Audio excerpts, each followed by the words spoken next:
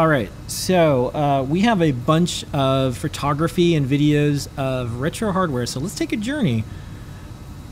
And uh, before I tell anyone what this is, guess what this is in the chats, and then at the end I'll tell you what it is. So you'll have a few seconds. But is this from the future? God, it looks like a rendering. Is it from the past? Is this one of those DALL-E things that says like '90s console that never came out? This looks like something that's um, like a. Like a Is it a cable box? it's a rendering from like a 1980s like demo reel from like SIGGRAPH. This is like SIGGRAPH 92 the era. new SGI. No, like, Yeah. it's not the product. It's like literally the thing that's rendered. Yeah. Look, it's got RF output, so that does date it. Yeah. So let's see if anyone knows what this is. Even I don't know what this is.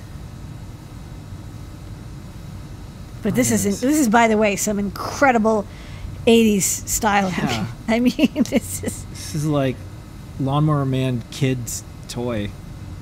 All right. I mean, it's it's the it's the thing that looks like it's like a handheld joystick. It's got like these Yeah. flanges on it. Like the flanges are totally unnecessary, Yeah. and the grid, you know, the gridding is like a very um, All right. Lawnmower so, Man. So here it is. This is a future that never happened. It's called the ViewMaster Interactivision. Uh, this was introduced in 1988 and released uh, in uh, USA. It came with Sesame Street games and it featured the Muppet Show characters and a Disney game, Disney Cartoon Arcade.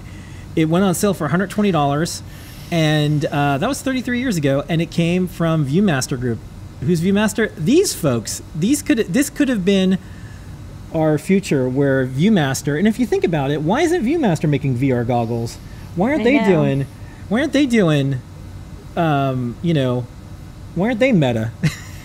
so they had games, but then was it Like- ever sold? Sold? Like people actually bought it? they had no? Kermit the Frog, the Great Gonzo, um, It actually reminds me a little bit of like what's that robot friend you have?